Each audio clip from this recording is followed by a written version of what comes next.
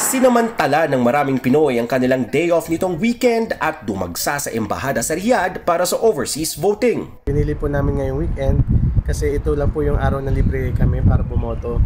Ah, kasi nahirapan po kami umalis sa trabaho during working hours. Handa naman ang embahada sa pagtanggap ng sunod-sunod na pagdating ng mga botante. We uh, amply anticipated the uh, surge of people uh, this weekend, uh, and uh, it's quite expected. We had some uh, more than 2,000 voters that came into uh, the embassy. Pero may ilang inireklamo ang tagal at haba ng pila ngayong halalan 2022 kumpara sa nakaraang overseas voting.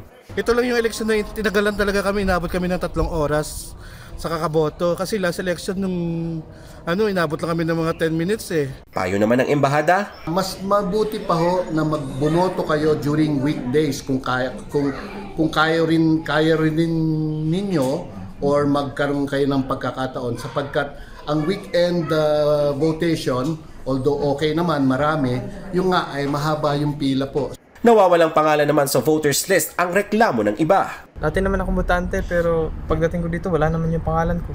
Ang layo pa naman ng pinanggalingan ko. If your name is not in the CLO or the certified list of voters, there's hardly anything we can do about it because uh, uh, that is a matter that uh, only the COMELEC uh, can decide on. Kung dati nang rehistrado at wala ang pangalan sa certified list of voters ng COMELEC, maaaring mag-email sa ov.concerns at comelec.gov.ph. Email the COMELEC, sabihin ninyo na kung bakit kayo dapat kasama, mag-present kayo ng proof. Once na sumagot ang COMELEC na payagan kayong bumoto, papayagan namin kayong bumoto. Tuloy-tuloy naman ang overseas Filipino voting sa iba pang embahada at konsulado sa iba-ibang bansa. Panawagan ng embahada, huwag nang antayin pa ang May 9 deadline bago bumoto kung kailan inaasahan ang mas maraming dagsa ng botante.